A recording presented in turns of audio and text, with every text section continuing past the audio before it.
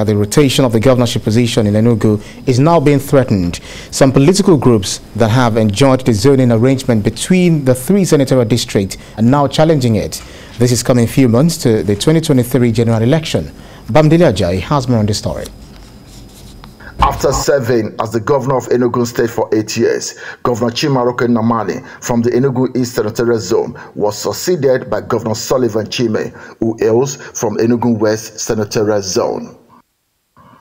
At the expiration of former Governor Sullivan Chime's tenure, the PDP shopped for a successor from the Northern Senatorial Zone, which produced the incumbent Governor Ifeanyi Ugwuanyi as a beneficiary. Now, in few months, the tenure of the incumbent governor Ifeanyi Ugwuanyi will come to an end. But the yes, issue at the moment is that there are political agitation questioning the zoning arrangement.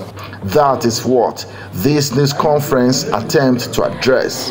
So for him to begin to say whether the whole Enugu state people came, but he was in a meeting, agreed on the zoning. In fact, supported the person the, the, the, that the zoning, the next governor should come from Enugu North. Chimaroke is from Enugu East Territorial Zone. He anointed Sullivan Chima. Sullivan Chima anointed Gburugburu. Stakeholders here say they are disappointed because a rival camp wants to truncate the gentleman agreement that has worked since 1999.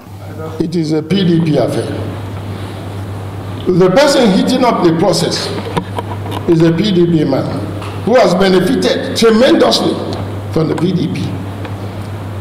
I had wished that there's somebody from another party that is doing all this in Enugu State.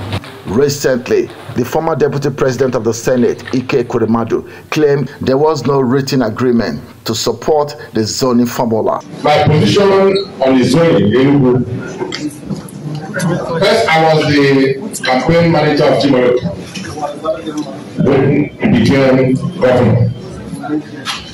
And all through that period, he is not aware and I'm not aware that we ever met and discussed with any human being as the 2023 general election draws nearer, many have the opinion that the zoning arrangement that promotes peace, fairness, and justice should not be sacrificed on the altar of aspiration.